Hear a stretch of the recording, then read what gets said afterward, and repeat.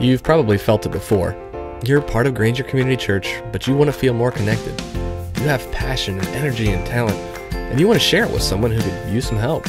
Or maybe you want to share your story and hear from others about what God is doing in their lives. But where can that happen? Check out The Table.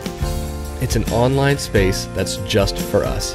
This isn't Facebook for Christians because it's not global, it's local.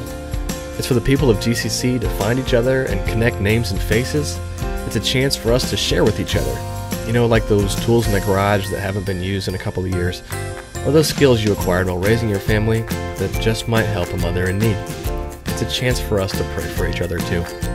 Hundreds of people from our church family have already joined the table. We're getting connected, serving and sharing together, and praying for each other. And there's a seat at the table just for you. Head to gccwired.com to join.